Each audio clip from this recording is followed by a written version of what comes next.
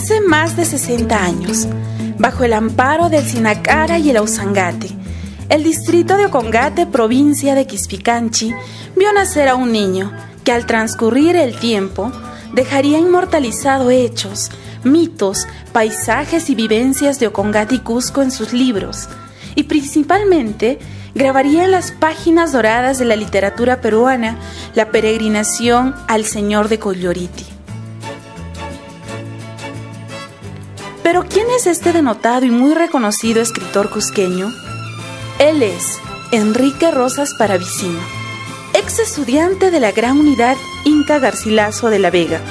Su vocación e inquietud por las letras le llevó a estudiar la carrera de Ciencias de la Comunicación y Ciencias Humanas en la Universidad Nacional de San Antonio Abad.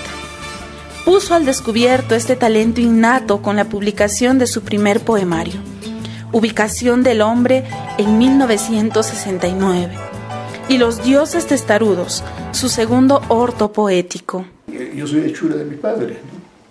Mi padre es el que me inculcó en la lectura de narrativa, esencialmente. ¿Creería usted me obligó mi padre desde muy temprano a leer Don Quijote de la Mancha.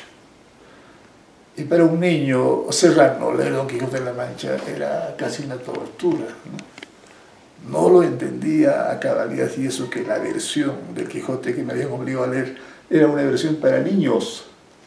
Con los años surgiría en nuestro escritor un cambio espontáneo de poesía a narrativa vertiente, con la finalidad de transmitir de manera más detallada su visión del mundo. Esta capacidad narrativa de Rosas es reconocida a nivel nacional, cuando en 1985 queda como finalista de la cuarta Bienal del Premio Copé de Cuento, distinción consagratoria del mejor narrador en el Perú. Motivado por el premio Tal vez, publica Al filo del rayo en 1988 y dos años después el libro Fuego del Sur, en coautoría con los narradores cusqueños Luis Nieto de Gregory y Mario Guevara Paredes.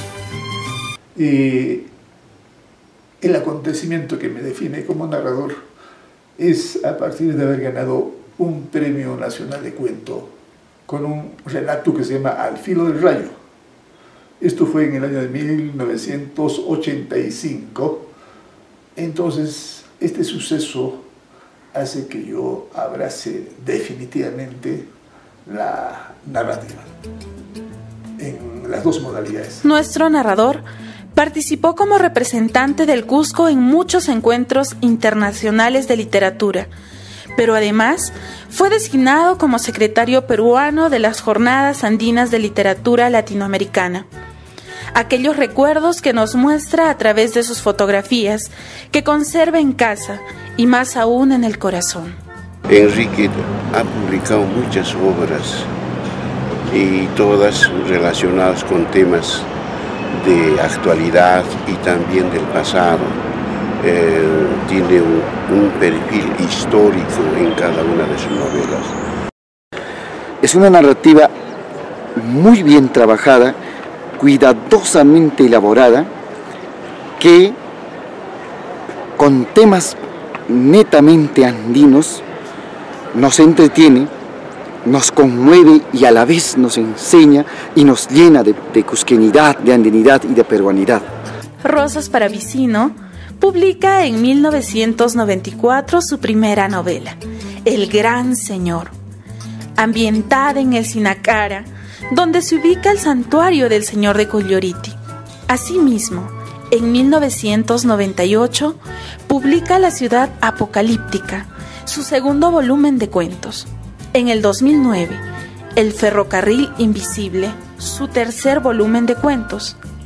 Ese mismo año publica Muchas lunas en Machu Picchu, su segunda novela, y en el 2012 Elogio de la escritura radical porque reconstruye la fundación, el florecimiento y la extinción de esta ciudadela, inca, que es maravilla como sabemos. Muchas lunas en Machu Picchu, su segunda interesante novela, A decir del docente universitario Niel Palomino González, recrea la fundación, construcción, florecimiento y abandono forzado por parte de sus habitantes de aquella sacra ciudadela inca, más conocida como Machu Picchu. La calidad de narrativa que hace Rosas es hoy por hoy valorada en las universidades como la San Marcos, la Católica y la Villarreal del Perú, donde ha sido motivo de ensayos y tesis de pregrado y posgrado. Asimismo, por estudiosos como el norteamericano Mark Cox, entre otros. Pero paradójicamente, este gran talento cusqueño de la narrativa contemporánea es poco conocido en los colegios de la región. Potro ni la capucha negra de Fray Tomás. Fui judío, sí, natural de Ámsterdam, sefardita desde el deceso de mis padres en Sevilla, allá en los tiempos del rey Felipe II. Ahora soy converso, Señor, novísimo congregante de la Hermandad del Santo Sepulcro, y si llevo aún rastros de sangre infame, es por el rayo de las cámaras que en Tarragona cargó con mi abuelo al patíbulo. Pero, ¿por qué leer a Enrique Rosas para Vicino?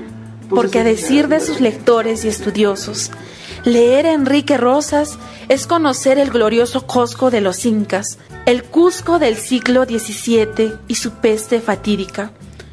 Conocer mejor el Cusco actual, con sus problemas y posibilidades. Todos los cusqueños debemos leer las obras de Rosas para saber quiénes somos realmente y para fortalecer más nuestra identidad cultural cusqueña. La última obra que nuestro escritor entrega a su tierra lleva por título Suenan las campanas del Cusco y se presentará en junio como homenaje a la ciudad pétrea. El hombre para, para considerar que ha cumplido su misión en la vida tiene que hacer tres cosas. Tener un hijo, sembrar un árbol y escribir un, libro. ¿Usted cree que ha cumplido con todo tres. Acá está el árbol. Acá están algunos de los libros. Y los hijos que tenemos. ¿Cuántos hijos tiene usted? Los hombres pasan y sus obras quedan. Y desde Periodismo para Todos decimos, gracias Maestro Rosas por mostrar al mundo nuestro Cusco, por decir y decirnos, estos son nuestros mitos, nuestras creencias, nuestra cultura, nuestra gente. Este es nuestro Cusco de antes y de hoy. Y ojalá, a partir de esta nota, los profesores del Cusco tomen en cuenta a tan importantes valores de su literatura contemporánea, como lo es Enrique Rosas Paravicino, un gran cusqueño. Hemos escuchado a menudo que en la casa de artistas, escritores, pintores, vamos a encontrar siempre calidez. Y es lo que encontramos aquí en el hogar de uno de los más grandes escritores cusqueños, Enrique Rosas Paravicino. Hasta la próxima.